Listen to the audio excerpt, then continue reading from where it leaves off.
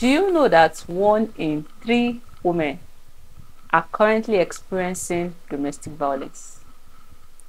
And do you know that about one in four men or one in 10 men are also experiencing domestic violence?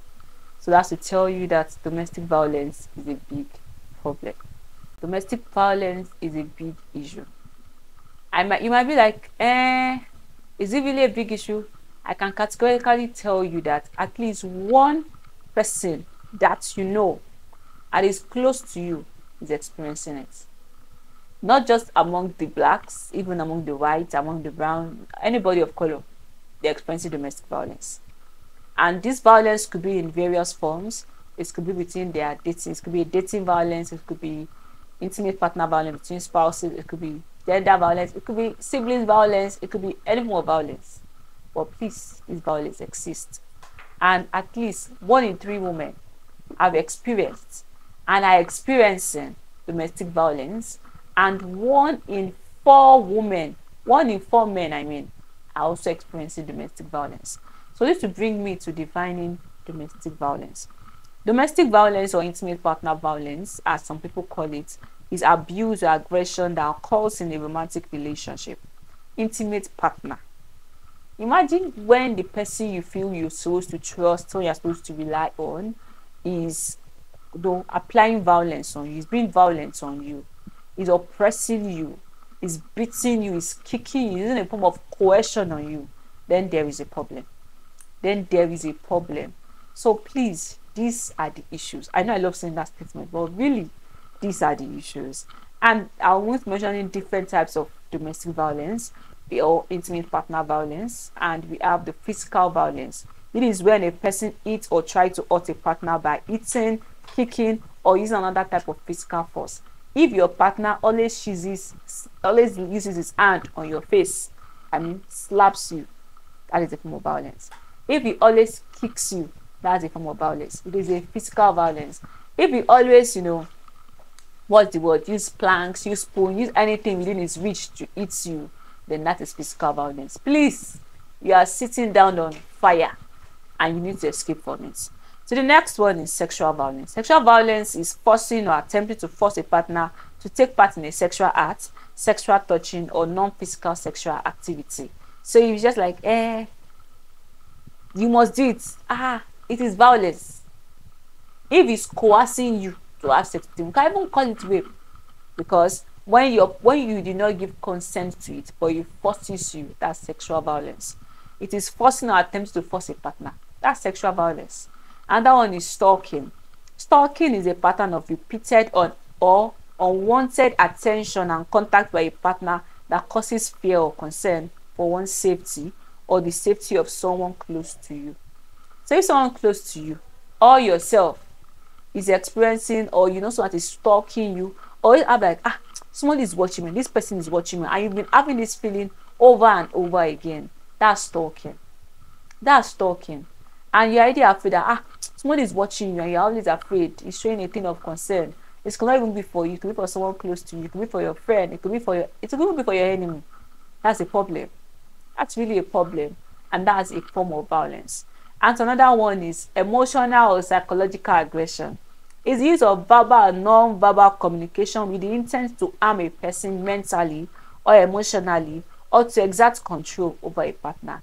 If your partner or someone that you love, it could be for your friends, and they're always saying negative statements, always using words, always using words that seemingly seem as if they're encouraging you, that's a problem. Remember my friend was sharing with me that some people are dating someone or like some guys use they will get you word, but also balance it. They will lower your self-esteem and also increase your self-esteem. For example, they will say, ah, I like fat girl, but you can lose some weight. If you are not someone that pick words, you won't see it. They will say, ah, do you know that you are too short? But or you can say, ah, do you know that you are too short? But I don't mind you. Are you kidding me? You just said I am short. Or you just said I am fat or the teacher will be like, eh, eh. yeah, so what you said makes sense, so, but you're not intellectually sound. Ah, you just said I'm not intellectually sound. Don't bother saying what I said makes sense. So these are the things that some people go through because some, some people uses words. It doesn't have to even be in words. It could be non-verbally. Their eyes, them being physically present, I've said it. I've said 1,000 words. Their facial expression, I've said 1 million words. And these are the issues. So IPV is connected to other forms of violence. Intimate partner violence is connected to other forms of violence. And these things does not only have influence on the partner, does not only have influence on even the person victimizing others. It also have influence on the economy. Because if one in three women are experiencing domestic violence or sexual violence, then how will they seek help? Because we'll keep spending money on addressing violence as a country. We'll keep spending money on settling issues in the police force. We'll keep spending money on taking care of hospital bills, the money that could be channeled into helping the family, helping the family economy, helping to address other issues. The money will be spent in the court of law, the money will be spent in the hospital because always like, ah, she's always having wounds. And some of these people, some of these victims, it's the way they cover up for their partner for me. So I'm going to be sharing some statistics with us. About 41% of women and 26% of men experience or have experienced or are in contacts or have experienced sexual violence, physical violence or stalking or even psychological aggression. They've experienced it. And many of them are living with the PTSD. They are living with the trauma of the experience because they're going to be projecting it on their other partners children in these relationships or children in this relationship are going to be either come out from it as a victor or come out of it as a victim. As a victim in a case where the girls will feel like, oh, my guy has to be beating me, has to be eating me, has to be experiencing a form of violence on me. Or the children come out as a victor, they say that, oh, I don't want to do like this. I don't want to be like this. How do I come out of this? I don't want to be like my father. I don't want to be like my mother.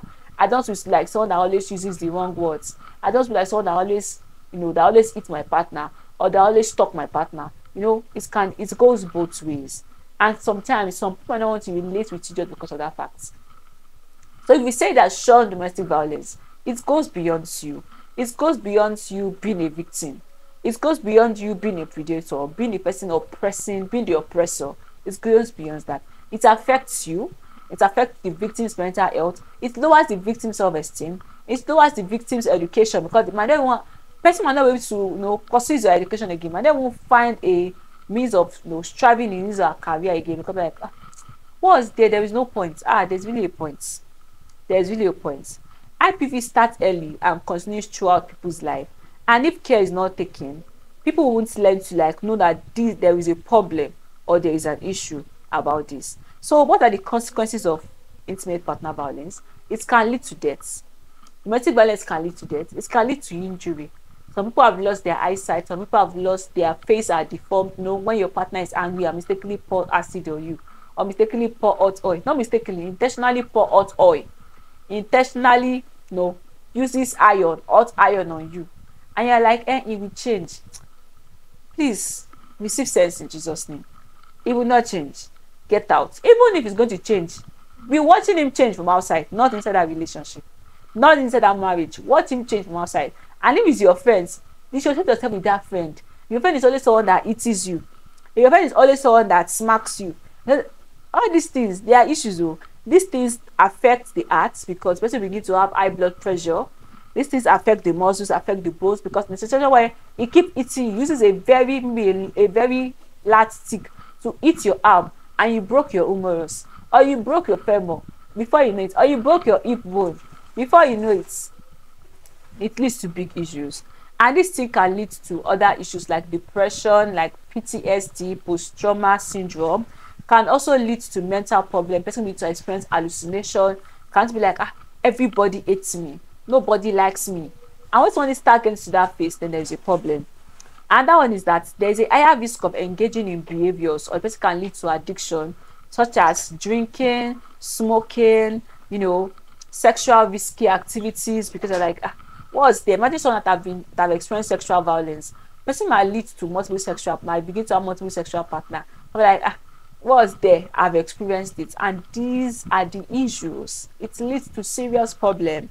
And the person might also you know might begin to marginalize themselves begin to feel like ah, ah nobody likes me. I begin to separate themselves begin to feel isolated.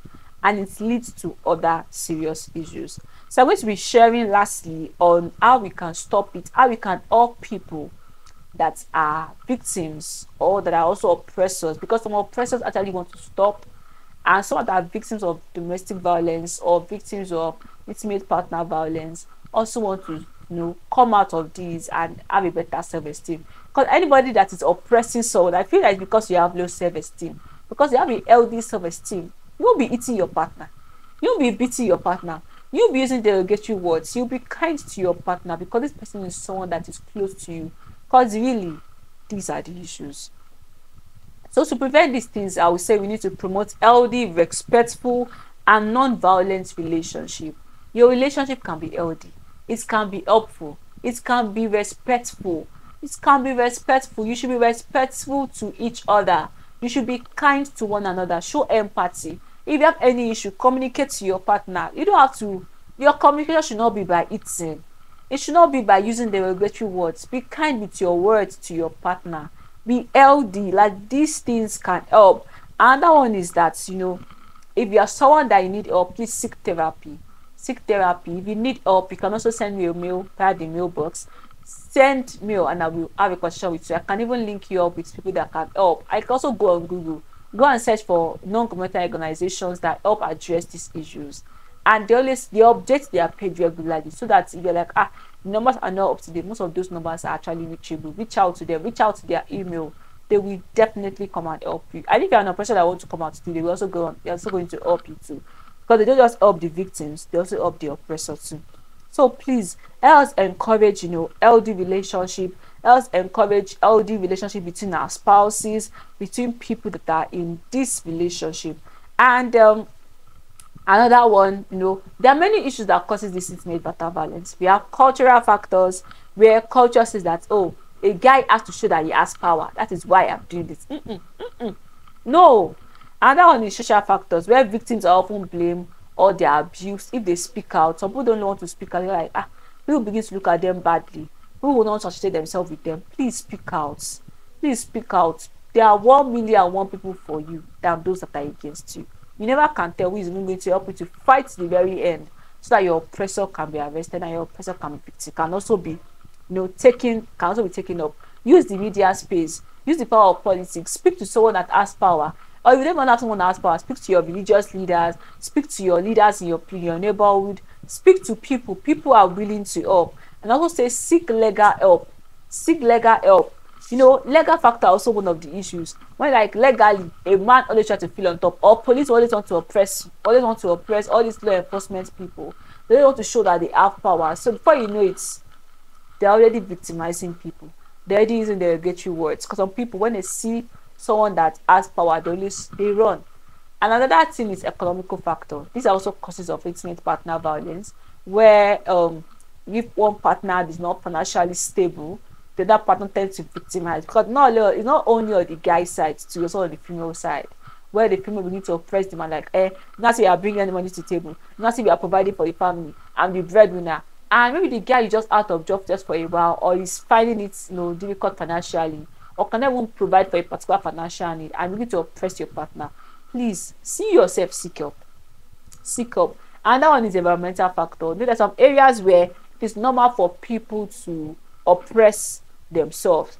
It is a normal thing. You know, growing up in an abusive environment and having weakness or experience domestic abuse can make someone more likely to be abusive, also a victim of domestic violence. I've already said these issues. And um, I've thought about the issues. You no, know, intimate partner violence can lead to STIs. You are wondering how the person can start resulting in multiple sexual partner.